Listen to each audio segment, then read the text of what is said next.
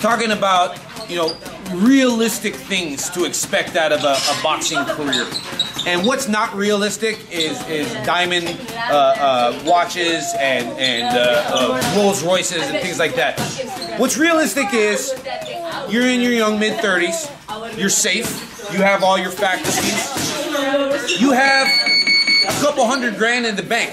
Maybe you even got a million bucks in the bank. Your name, it means something, right? You can go out there and now do something with that name and that seed money of a few hundred grand or a million dollars. Because when I say seed money, if you think a million dollars is getting you for the rest of your life, you got another thing coming, all right? That is chump change. That is the money to just get you to the next stage of your life that that is going to be post boxing.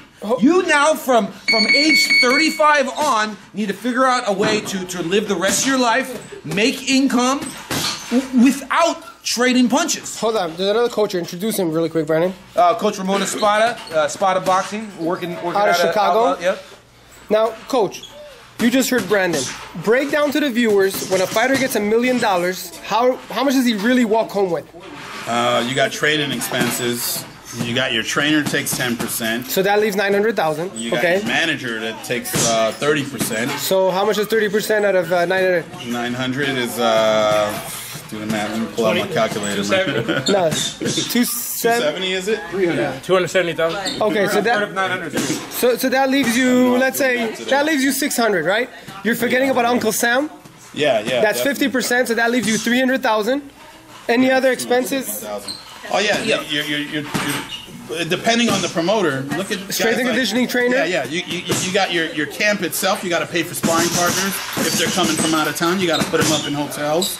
Um, you know, you got to trade for, pay for the travel. You gotta look fly when you walk into the fight. Your, your people that are You're coming laughing, to but it's yeah, true. Yeah, yeah. Your people that are coming to fight. How much does Pacquiao spend on A million dollars he spent in the last he gives uh, hotel suites, Yeah, airfare. I mean, that's that's the extreme. Or, or even somebody like Floyd. He, you know, he spends a lot of money from his purse. so to- out of a million dollars, coach, how much do, would you walk home with? maybe half of that if you're lucky. No, it can't be because half will go to just the taxes, ten Oh, yeah, percent. I- we didn't even talk about taxes. Yeah. No, that's what I'm saying. So Yeah, yeah. maybe So two you're lucky if you- Yeah, you're lucky if you walk away with 300. So you start boxing in, in nine, ten years old. Your whole teens are taking up fighting amateur fights, uh, tens, dozens, hundreds of them. Your 20s, now you're pro. You start this career where, for your first handful of fights, you are making zero dollars. In fact, you're probably spending money to fight. Now, now you have in the teens of fights. Maybe a promoter has taken notice of you. Maybe a big manager. So now you're starting to fight progressively stiffer and stiffer challenges with progressively bigger paydays. We're not talking big here. We're talking 10 grand, maybe 15 grand here, maybe 30 grand there, right? Then, if everything went the way, the best way it could, you're now in your late 20s, early 30s. You're fighting for a million bucks. You're fighting for 750 grand. Maybe if you're lucky, you have a handful of those fights. You know what I mean? And you're able to actually put some money in the bank. But even if it, it went totally sour, even if you didn't make anything, by the time you're 35, it's done. This you this is no longer an option for you. So what do you tell your fighters, Brandon, about the future? I mean, you can't box forever. Do you tell them stay in school? Do you tell them to learn a trade, to well, get a job? definitely, Look, don't don't close doors. That's for sure. Um, this is their trade. That's the thing. You know, uh, uh, this is what they have invested in. You know, uh, their college is the ring, and they treat it as such. So hopefully, you know, at the end of that career, you have that seed money in there. But most importantly, your name carries some clout.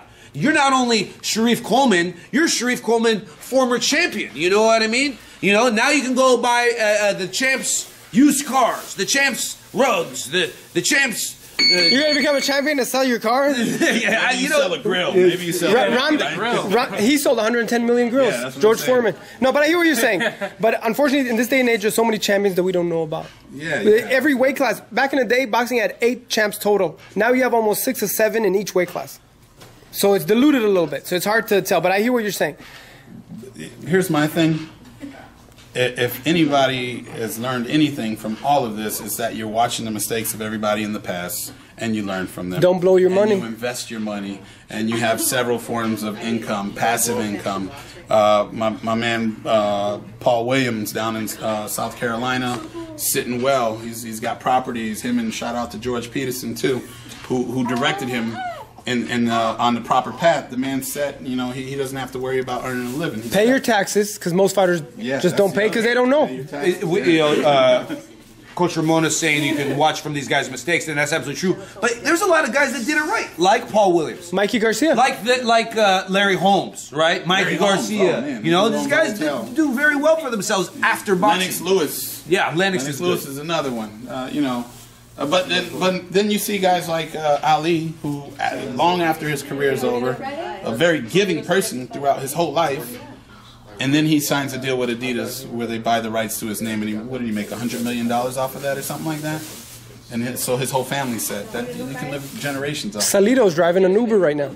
an Uber. Yeah. I mean, sometimes you gotta do what you gotta do. Yeah. You could tell me that he enjoys it, but I don't think anybody would enjoy driving an Uber. It's, it's a All the humble. time he been on HBO. The thing too is, is boxers are humble, man. They're humble. They are. come from nothing. They have nothing. So the minute you get money, you don't know where the money's coming from again, especially with boxers. That's true. So I, I don't knock anybody for wanting to. No, no, I don't knock nobody for doing it. I'm saying, but I would Yeah, expect a guy. I, I do like five different things to make. That's money. good. Me too. We all grind.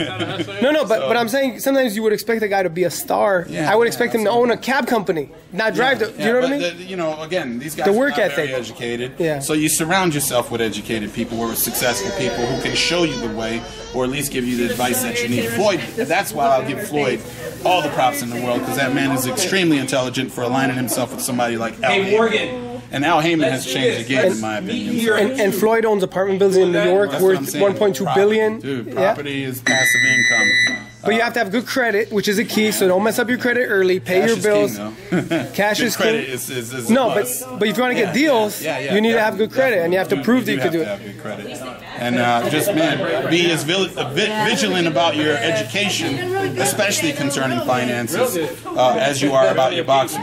Coach, you know boxing. Gervonta Tank Davis, how talented is he? He fought this guy, Pedraza, 22 0. No one gave him a shot. No one gave him a shot. Blew him out of the park. Uh, you know, I, I didn't follow him much in the amateurs, and I had friends sending me clips of him here and there of highlights, and I'm like, oh, whoa, this dude is explosive. He's gonna be a star, man. He's, He is a star already. special. Yeah, 300,000 yeah. followers, Yeah. and he's only. I talked to him this morning. I said, You're I'm only 20. You're more famous than most fighters that have been in the game for Hey, years. And and the thing about it is, uh, he, you know, if he plays his cards right and he stays on the right track and listens to the right people, He has a great team with Coach Calvin, with Lauren, with yeah, other coaches in the set, gym. man. He should be set, and uh, I mean, uh, he's got a bright future. I'll say that, uh, judging from his skills alone. I don't know the guy as a person, uh, but if he's got a good team around him, like you say, he should be set. I'm looking forward to him doing his thing, man. He, he looked extremely impressive the times that I have seen him, and uh, you, you put that kind of skill and speed and power together, man. It's devastating. So there you have it. Another great video for ES News. For ESNewsReporting.com, I'm Elie Seckbach reporting, and you can follow me on Twitter at Seckbach, And you can follow me on Instagram at Elie Seckbach.